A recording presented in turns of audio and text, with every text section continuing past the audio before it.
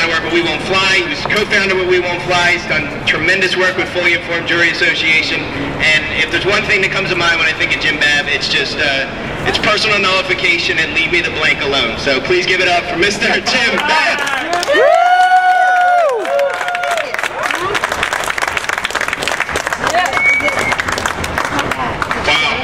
great to be with you guys today.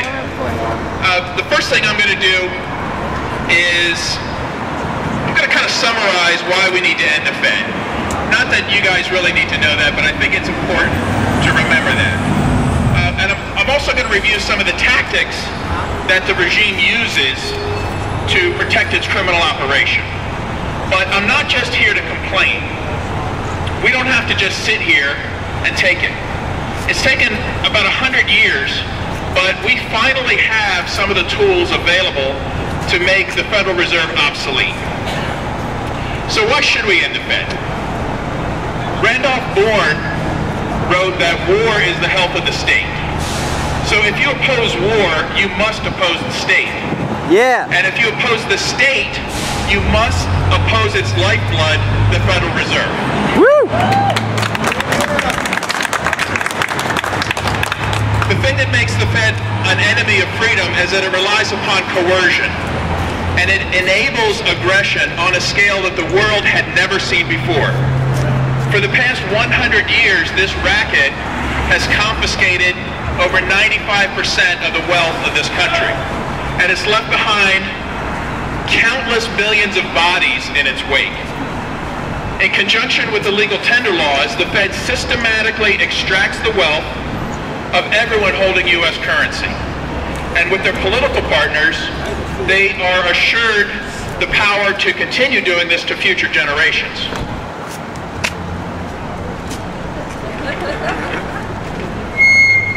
So, without fiat currency, wars are very difficult to finance. Tax victims quickly, quickly grow weary of endless war. Wars of aggression are particularly hard to sell. When folks are expected to pay for these wars out of their own pocket, suddenly everyone becomes a peacenik. Politicians love war because the scared masses happily turn over their resources and their freedom. So, but these wars are expensive, and politicians don't have any of their own money to spend, so they could raise taxes, but that's not politically viable for very long. There are limits to what they can steal by a taxation. So they, they make up this piece of paper and they call it a treasury bill. And then they take it over the Fed, and the Fed loans the politicians as much money as they want. Now, the politicians do have to put up collateral for this, but that collateral is you and your children.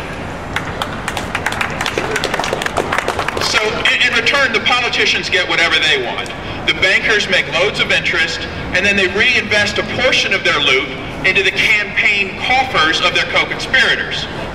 So most of the most victims of this scheme don't even realize that they've been swindled. Uh, they just find that it's harder and harder to make ends meet. Uh, when the prices go up, the politicians drag out a few of these greedy CEOs for a TV scripted dressing down. It's never the politician's fault. They just blame greed But eventually folks start to figure this out. They start using other forms of currency that aren't vulnerable to this inflation tax. That's when the politicians go to work outlawing potential rivals to the Fed. And meanwhile, the people get poorer and poorer, the wars go on and on, abroad and at home. So without the Federal Reserve, who would pay for 900 military bases in 135 countries and more armed conflicts than I can count? Without the Fed, who would pay for 1.5 billion rounds of hollow point ammunition for domestic use by the Department of Homeland Security? Without the Fed, who would pay to keep a million peaceful pot smokers in cages? Yeah. Who would buy thousands of free tanks as gifts for local small town police forces? Who would pay for the new fusion center in South Philly? Mm. Who would pay for the drone base in Horsham? Who would pay for the 70,000 blue-shirted goons that are groping old ladies and children at the airport?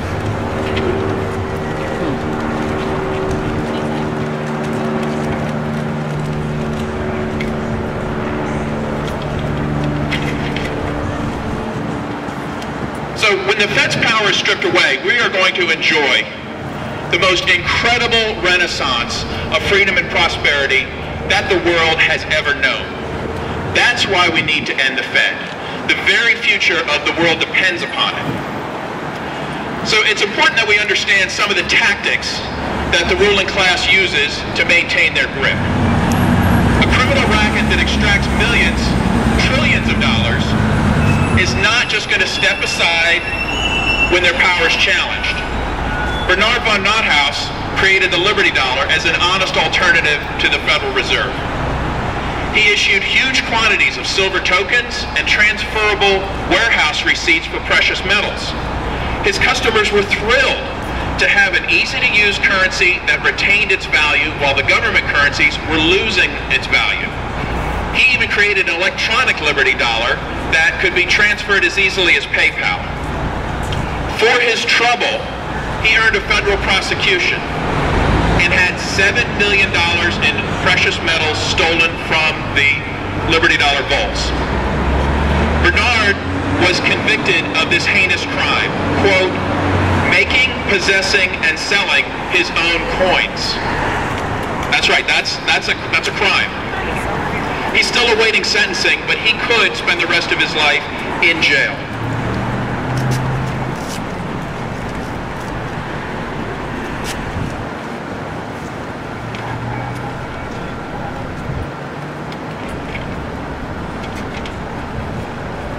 When he was sentenced, U.S. Attorney Anne Tompkins made this announcement at the verdict.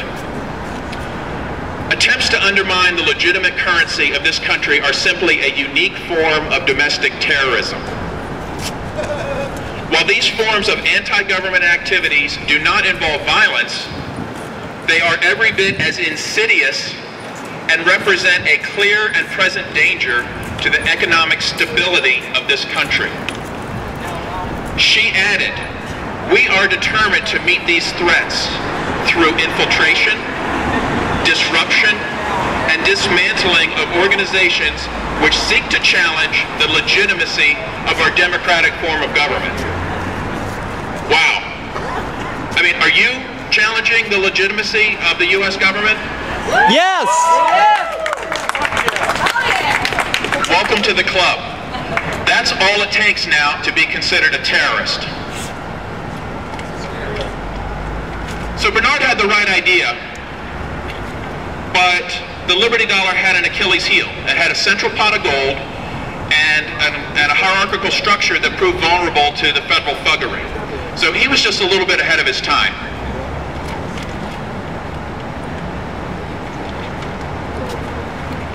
But today, we live in a golden age of information sharing.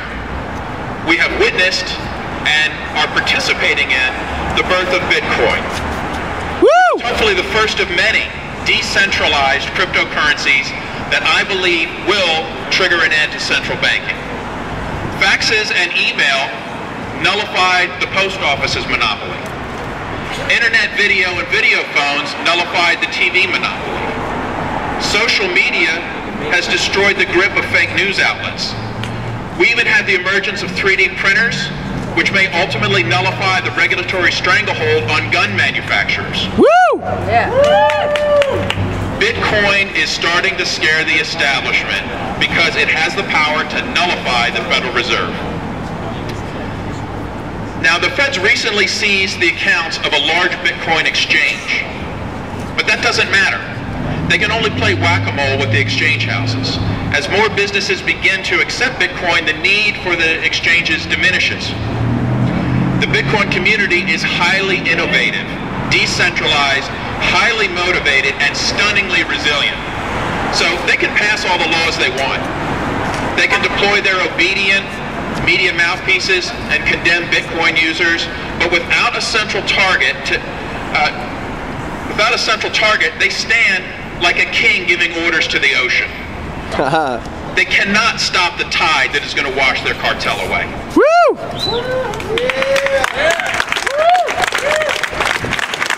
But do not expect the Fed to simply slink away into the darkness without a fight. If you challenge these crooks, you are now branded a terrorist. This is what you can expect. They stated publicly that they don't care if you are nonviolent.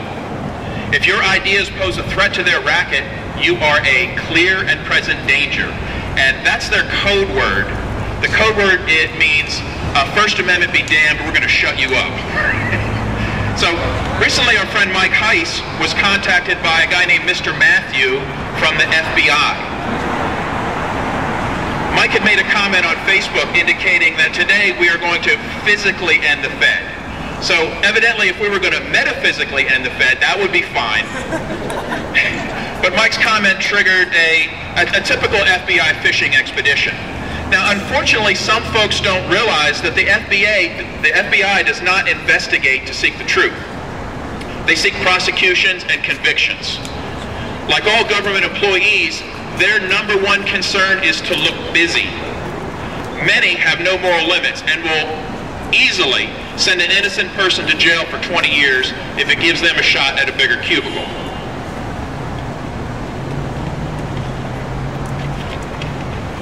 So innocent people have nothing to hide, right? Well, it's normal for decent people to talk openly. Our instinct is to clear up any perceived misunderstanding.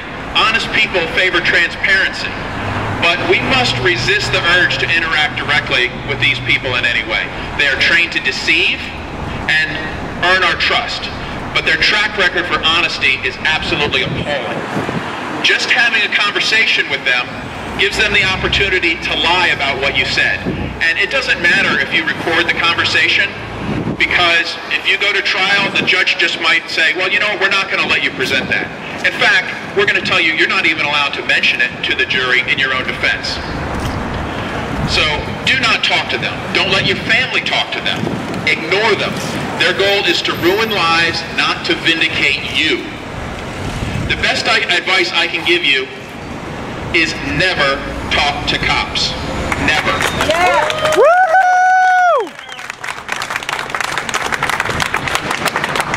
But now I'm going to break my own rule. I'm going to speak directly to any badged authority figures that are monitoring us right now.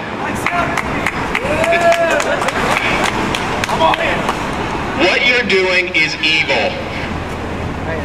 Even though you may have made a career following orders, you still have a choice. You don't have to harass obviously innocent people.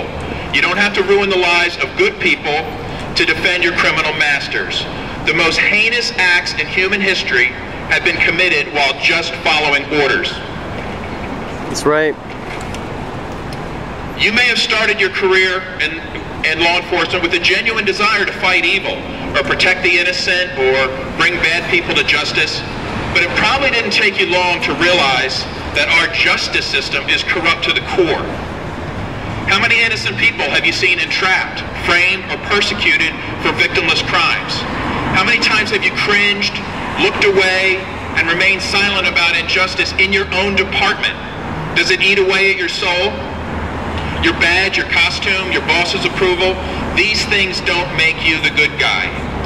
History will look back on you as the bad guy, the way we look back on slave owners and Nazis. So do the right thing. Join us. As our friend Larken Rose said it best, put down the badge and join humanity. We're ready to accept you. And when you do, we're going to protect your freedom as well. Stop harassing and spying on peaceful people and be the good guy. Yeah. The, the system that you have sworn allegiance to is crumbling under its own weight. We're already the build, we're already building the institutions that are making it obsolete. You have an open invitation to join us. Yeah.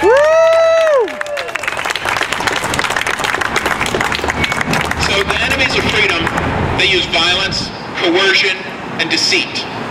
So that means that we use love, voluntary cooperation, and truth. They are decentralized and hierarchical.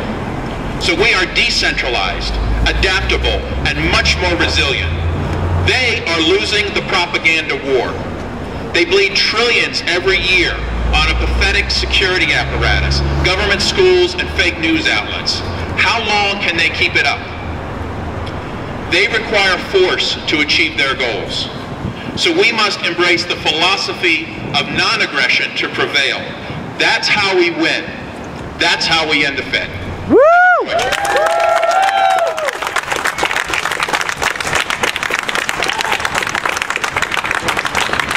Jim Babb, ladies and gentlemen.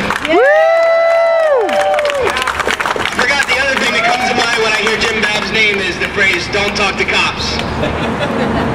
What he always says. All right, we have a special treat. You all familiar with Steve Miller Miller?